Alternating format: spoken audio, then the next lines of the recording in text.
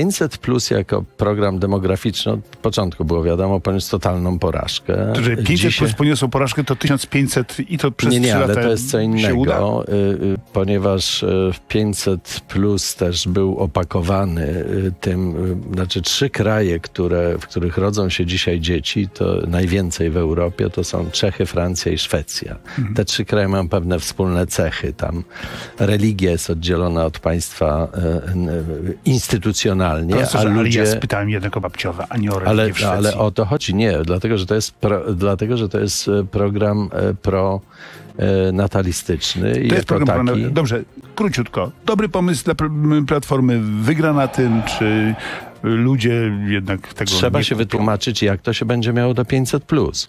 No, o, o, nijak, to znaczy będzie osobno 500 plus i osobno 1500, bo 1500 ma być na matki, a nie dla dziecka. To być może